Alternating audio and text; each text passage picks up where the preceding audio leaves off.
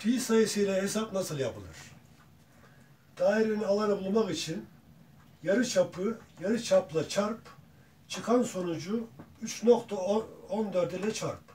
Çıkan sonuç dairenin alanıdır.